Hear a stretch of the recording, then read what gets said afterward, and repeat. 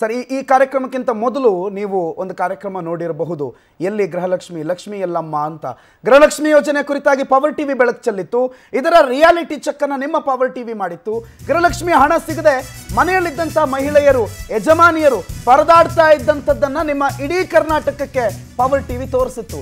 ಈಗ ಪವರ್ ಟಿವಿಯ ವರದಿಯ ಬಳಿಕ ಸಚಿವೆ ಲಕ್ಷ್ಮಿ ಹೆಬ್ಬಾಳ್ಕರ್ ಎಚ್ಚೆತ್ತುಕೊಂಡಿದ್ದಾರೆ. ಟೆಕ್ನಿಕಲ್ ಪ್ರಾಬ್ಲಮ್ ಏನಿದೆ, ತಾಂತ್ರಿಕ ದೋಷ ಏನಿದೆ, ಅದನ್ನ ಅತ್ಯಂತ ಶೀಘ್ರದಲ್ಲಿ ಪರಿಹರಿಸಲಾಗುತ್ತೆ ಅಂತ ಹೇಳಿದ್ದಾರೆ. ಪ್ರತಿ ತಿಂಗಳು ಹದಿನೈದರಿಂದ ಇಪ್ಪತ್ತನೇ ತಾರೀಕಿನ ಒಳಗೆ ಅಕೌಂಟ್ಗೆ ಹಣ ಜಮೆ ಮಾಡ್ತೀವಿ. ಒಂದು ತಿಂಗಳ ಹಣ ಬಾರದೇ ಇದ್ರೆ ಎರಡು ತಿಂಗಳು, ಅಂದ್ರೆ ಆ ಕಳೆದ ನೆಕ್ಸ್ಟ್ ತಿಂಗಳಲ್ಲಿ ಎರಡು ತಿಂಗಳ ಹಣ ಒಟ್ಟಿಗೆ ಬರುತ್ತೆ ಅಂತ ಮಹಿಳಾ ಮತ್ತು ಮಕ್ಕಳ ಕಲ್ಯಾಣ ಇಲಾಖೆಯ ಸಚಿವೆ ಲಕ್ಷ್ಮೀ ಹೆಬ್ಬಾಳ್ಕರ್ ಸ್ಪಷ್ಟನೆ ಕೊಟ್ಟಿದ್ದಾರೆ. ನಿನ್ನೆ ಲಕ್ಷ್ಮೀ ಬಾರಮ್ಮ ಅನ್ನೋ ಶೀರ್ಷಿಕೆ ಅಡಿಯಲ್ಲಿ ಪವರ್ ಟಿವಿ ವರದಿ ಮಾಡಿತ್ತು. ನಿನ್ನೆ ವಿಶೇಷ ಸೆಗ್ಮೆಂಟ್ನಲ್ಲಿ ಲಕ್ಷ್ಮಿ ಎಲ್ಲಮ್ಮ ಅಂತ ಪ್ರಶ್ನೆ ಮಾಡಿತ್ತು. ಆ ವರದಿಯ ಬಳಿಕ ಮಹಿಳಾ ಮತ್ತು ಮಕ್ಕಳ ಕಲ್ಯಾಣ ಇಲಾಖೆ ಮತ್ತು ಅದರ ಸಚಿವರು ಅಲರ್ಟ್ ಆಗಿದ್ದಾರೆ. ಗೃಹಲಕ್ಷ್ಮಿ ಹಣ ಪ್ರತಿ ಮನೆಯ ಯಜಮಾನಿಗೆ ಎರಡು ಸಾವಿರ ರೂಪಾಯಿ. ಪ್ರತಿ ತಿಂಗಳು ನಿಮ್ಮ ಮನೆಗೆ ಬರುತ್ತೆ ಅಂತ ಹೇಳಿ ಘೋಷಣೆ ಮಾಡಿದಾಗಿದ್ದಂಥ ಜೋಶು ಅದರ ಅನುಷ್ಠಾನದಲ್ಲಿ ಇರಲಿಲ್ಲ.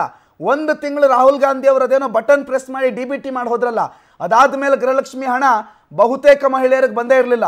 ಇಲಾಖೆ ಕೇಳಿದ್ರೆ ಟೆಕ್ನಿಕಲ್ ಪ್ರಾಬ್ಲಮ್ಮು ಅಂತೂ ಮತ್ತೊಬ್ಬರು ಸಚಿವರು ಹೇಳಿದ್ರು, ಇದೆಲ್ಲ ಬಿ ಜೆ ಪಿಯವರು ಹ್ಯಾಕ್ ಮಾಡಿದ್ರು ಅಂತಂದ್ರು, ಈಗ ಮಹಿಳೆಯರು, ರಾಜ್ಯದ ಮಹಿಳೆಯರು ಹ್ಯಾಕ್ ಅನ ಮಾಡಿ ಟೆಕ್ನಿಕಲ್ ಪ್ರಾಬ್ಲಮನ ಮಾಡಿ, ಓಟ್ ಹಾಕಿಸ್ಕೊಳ್ಳೋಕ್ಕಿಂತ ಮೊದಲು ಎರಡು ಸಾವಿರ ಕೊಡ್ತೀನಿ ಅನ್ನಿದ್ರಲ್ಲ, ಅದನ್ನ ನಮಗೆ ಕೊಟ್ಬಿಡಿ ಅಂತ ರೊಚ್ಚಿಗೇಳುವಂಥ ಸಂದರ್ಭ ಎದುರಾದಾಗ ಪವರ್ ಟಿವಿ ಅದನ್ನು ಪ್ರಸಾರ ಮಾಡಿತ್ತು. ಲಕ್ಷ್ಮಿ ಹೆಬ್ಬಾಳ್ಕರ್ ಈಗ ಈ ಬಗ್ಗೆ ಪ್ರತಿಕ್ರಿಯೆ ಕೊಟ್ಟಿದ್ದಾರೆ.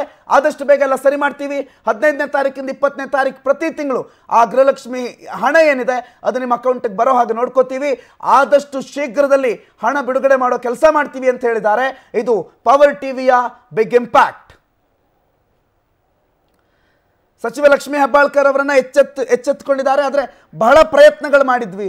ಮಹಿಳೆಯರು ಕೂಡ ಬಹಳ ಕಾಯ್ತಿದ್ರು. ಒಂದು ಅವ್ರಿಗೊಂದು ಲೆಕ್ಕಾಚಾರ ಇರುತ್ತೆ. ಒಂದು ಎರಡು ಸಾವಿರ ರೂಪಾಯಿ ನಮಗೆ ಸರ್ಕಾರ ಪ್ರತಿ ತಿಂಗಳು ಕೊಡ್ತು ಅಂತಂದ್ರೆ ಇದರಲ್ಲಿ ಇಂತಿಷ್ಟನ್ನ ಇಂತಿಂಥದ್ದಕ್ಕೆ ಖರ್ಚು ಮಾಡೋಣ. ಮಕ್ಕಳಿಗೆ ಒಂದು ಒಳ್ಳೆ ಬಟ್ಟೆ ತರೋದಕ್ಕೆ ಇಂತಿಷ್ಟು ಖರ್ಚು ಮಾಡೋಣ. ಮನೆಯ ದಿನಸಿ ಐಟಮ್ಗಳಿಗೆ ಒಂದಿಷ್ಟು ಖರ್ಚು ಮಾಡೋಣ ಅಂತ ಒಂದು ಲೆಕ್ಕಾಚಾರ ಹಾಕೊಂಡಿರ್ತಾರೆ. ಆ ಎಲ್ಲ ಲೆಕ್ಕಾಚಾರ ಹಾಕೊಳ್ಳೋ ಹಾಗೆ ಮಾಡಿದ್ದು ರಾಜ್ಯ ಸರ್ಕಾರನೇ. ಆ ಲೆಕ್ಕಾಚಾರಗಳನ್ನು ಈಗ ಉರುಳಿಸಾಕ್ತಿದ್ದು ರಾಜ್ಯ ಸರ್ಕಾರನೇ. ಸೊ ಮಹಿಳೆಯರು ಎಚ್ಚೆತ್ಕೊಳ್ಳೋದಕ್ಕಿಂತ ಮೊದಲು ಅಥವಾ ಮಹಿಳೆಯರು ಬೀದಿಗಿಳಿದು ಆಕ್ರೋಶ ವ್ಯಕ್ತಪಡಿಸೋದಕ್ಕಿಂತ ಮೊದಲು ಅದನ್ನು ಸರಿ ಮಾಡಬೇಕಿತ್ತು. ಮಾಡ್ತೀವಿ ಅಂತ ಲಕ್ಷ್ಮೀ ಹೆಬ್ಬಾಳ್ಕರ್ ಈಗ ಸದ್ಯಕ್ಕೆ ಹೇಳಿದ್ದಾರೆ. ಈ ಬಗ್ಗೆ ಮಾತನಾಡೋದಕ್ಕೆ, ವಿಶ್ಲೇಷಣೆ ಮಾಡೋದಕ್ಕೆ ನಮ್ಮ ಹಿರಿಯ ಪ್ರತಿನಿಧಿ, ವಿಶೇಷ ಪ್ರತಿನಿಧಿ ಅರುಣ್ ಬಿ ಎ ನ್ಯೂಸ್ ಡೆಸ್ಕ್ನಿಂದ ಲೈವ್ನಲ್ಲಿ ಜಾಯ್ನ್ ಆಗ್ತಿದ್ದಾರೆ. ಅರುಣ್ ಸರ್ ಗುಡ್ ಮಾರ್ನಿಂಗ್ ಈಗಾಗಲೇ ನಾವು ಮಾಡಿದ್ದಂಥ ವರದಿ, ಅದಕ್ಕೆ ಸಚಿವೆ ಪ್ರತಿಕ್ರಿಯೆ ಕೊಟ್ಟಿದ್ದಾರೆ. ಆದರೆ ಇನ್ಫ್ಯಾಕ್ಟ್ ನಾವೆಲ್ಲ ಇದನ್ನು ಕೇಳೋದಕ್ಕಿಂತ ಮೊದಲೇ ಮಾಡಬೇಕಿತ್ತು. ಆ ಅನೌನ್ಸ್ ಮಾಡಿದ್ದಂಥ ಜೋಶು ಅದನ್ನು ರಿಲೀಸ್ ಮಾಡೋ ಟೈಮಲ್ಲೂ ಇರಬೇಕಿತ್ತು. ಈಗ ಟೆಕ್ನಿಕಲ್ ಸಮಸ್ಯೆ ಸರಿ ಮಾಡ್ತೀವಿ ಅಂತಂದಿದ್ದಾರೆ ಲಕ್ಷ್ಮೀ ಹೆಬ್ಬಾಳ್ಕರ್ ಅವರ ಪ್ರತಿಕ್ರಿಯೆ ಏನೇನಿದೆ? ಯಾವ ಥರ ಪಾಸಿಟಿವ್ ಕಾಣಿಸ್ತಾ ಇದೆ ಲಕ್ಷ್ಮಿ ಅರುಣ್ ಸರ್. ಪ್ರಣೋತ್, ಇದೊಂಥರ ಗಣಪತಿಗೆ ಶನಿ ಮಹಾತ್ಮನಿಗೆ ಗಣಪತಿ ಹೇಳಿದ್ನಂತಲ್ಲ, ನಾಳೆ ಬಾ. ಲಕ್ಷ್ಮೀ ಹೆಬ್ಬಾಳ್ಕರ್ ಅವ್ರ ಪ್ರತಿಕ್ರಿಯೆನೂ ಅಷ್ಟೇ. ಎರಡು ತಿಂಗಳ ಹಿಂದೆ ಇದೇ ಮಾತೇ ಹೇಳಿದ್ರು. ಟೆಕ್ನಿಕಲ್ ಪ್ರಾಬ್ಲಮ್ ಆಗಿದೆ, ಸರಿಪಡಿಸ್ತೀವಿ. ಈ ಗೃಹಲಕ್ಷ್ಮಿ ಯೋಜನೆ ಘೋಷಣೆ ಆದಾಗಲಿಂದ ಇದುವರೆಗೆ ಒಂದು ತಿಂಗಳು ಮಾತ್ರ ಫಲಾನುಭವಿಗಳಿಗೆ ಎರಡು ಸಾವಿರ ರೂಪಾಯಿ ಕೊಟ್ಟಿರೋದು. ಆಮೇಲೆ ಕೊಟ್ಟೇ ಇಲ್ಲ.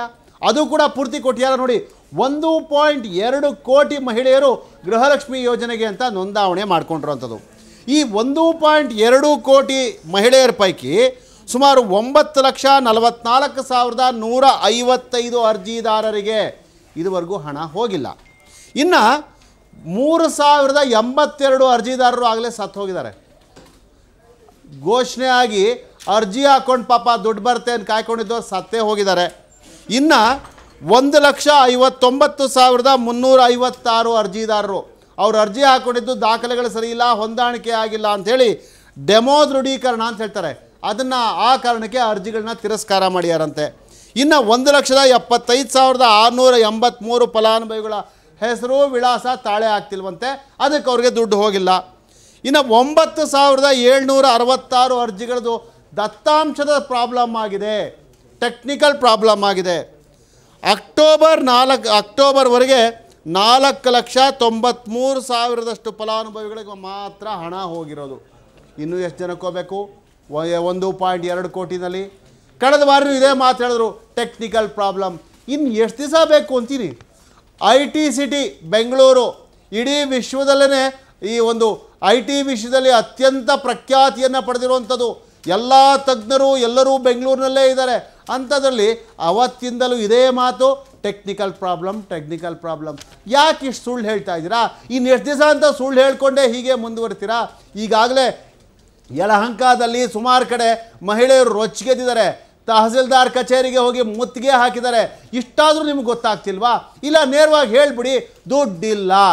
ಮೊದಲೇ ಬರಗಾಲ ಇದೆ. ಎಲ್ಲ ದುಡ್ಡನ್ನು ಆ ಕಡೆ ಡೈವರ್ಟ್ ಮಾಡಿದ್ದೀವಿ ಹೇಳ್ಬಿಡಿ. ಜನ ಅರ್ಥ ಮಾಡ್ಕೊಳ್ತಾರೆ.